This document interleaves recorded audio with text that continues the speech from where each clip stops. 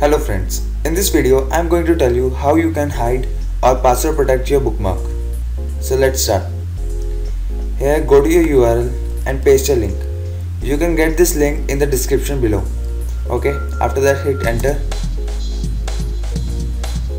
Now here is the secure bookmarks. Now click on add to Chrome.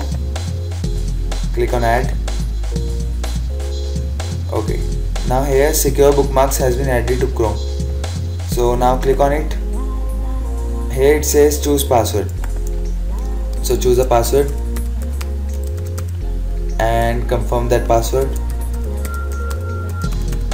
After that set password. Okay? Now you have created a password. So whenever you want to uh, password protect your bookmark just visit that website. Okay? And what you have to do is you have just have to click on this and click on new bookmark. So you, you have added yahoo okay? Like if you want to uh, just bookmark that any other site you just have to visit that site like filestream okay? And click on this secure bookmarks and click on new bookmarks. After that to pass uh, to protect it just log out.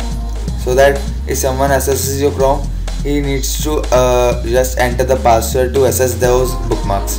And this way you have hide uh, you have hidden those bookmarks and password protected your bookmarks. So thank you for watching and do subscribe